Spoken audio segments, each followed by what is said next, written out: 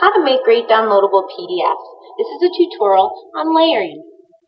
Working with layers in PDFs can be kind of complex, but the results add interactivity and functionality.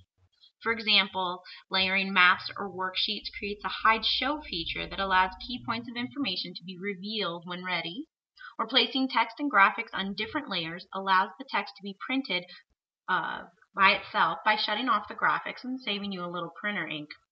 Let's start at the very beginning here. If you are starting in InDesign, don't worry if you're not, we'll take it from starting in Acrobat already, but if you're starting in InDesign, please remember to set your export layers to visible and printable layers when you're exporting your PDF. That's this little area down here. It'll just give you a little bit of an edge when you're ready to work with your layers. If you're starting in a PDF, let's open up a PDF and get started. If you're starting in a PDF, we can still create layers and add layers unless we're working from a scanned document. How well layers can be manipulated really depends on the PDF you're working with. For this demo, we'll be working with a file that was exported from InDesign, and we will create and add layers in Acrobat 9.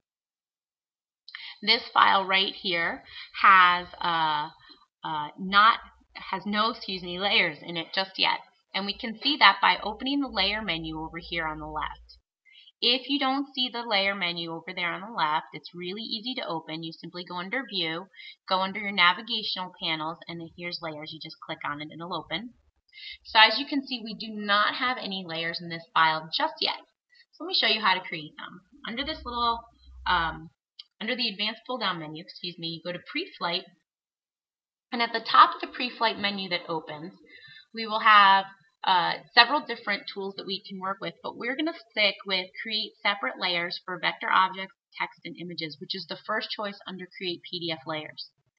Click the Analyze and Fix, and it'll ask you to save it. It's running a little bit slow. It'll ask you to save it. We're going to save it to the desktop, and we're just going to make a new uh, a new name so that we can find it easily.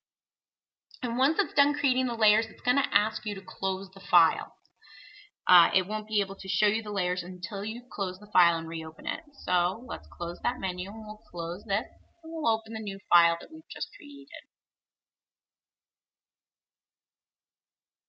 Let me line this up so you can see what we're doing here and make it small enough so you can see what we're doing here.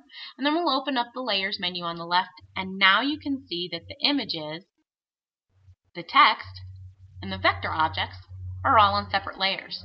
We can turn them on and off as we need to. Uh, and this is a, a great tool um, if you would like to just print the book with uh, text only and you don't want to waste all your ink on artwork and um, vector graphics. You can shut off the images and the vector graphics and all that you're left with, with is the text and it'll print just the text when it's shut off. Very handy tool. Now say you have uh, let me turn these layers back on, and I'll show you how to add a layer. Say you have, for example, this page right here originally had a piece of artwork on it. So I'm going to show you how to add that artwork back as its own layer. But you can do this as well for um, like map keys or answers to worksheets. There's lots of different applications where you can use this. So I'm going to show you how to add a layer that you can um, turn on and off separately. So we're just going to go underneath this little tool uh, inside the toolbox. And we're going to import uh, a file as a layer. Um, it gives us a huge window, as you can see. Most of the information you're going to need is over here, so let's move it over here. We're going to find our source, which is page 6. We're going to tell it over here what page that we want this to be on. We want it to be on page 6.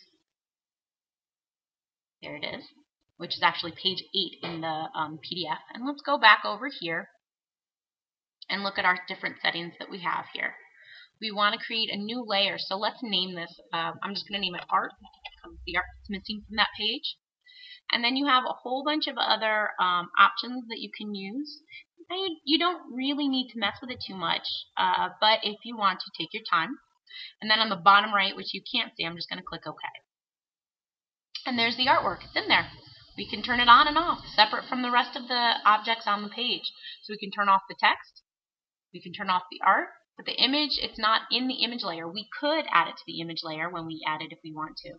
But in this case, it's right here, and we can turn it on and off. So if you're working from, um, uh, let's go back to say maps again. So if you're working for a map that you want to show to somebody and say want them to um, try and guess what uh, uh, states are where, you can have the states uh, names on a different layer like this, adding it in, and then you can simply leave it turned off and let them pick, and then you can turn it on to reveal your answers. It's a really handy tool to have.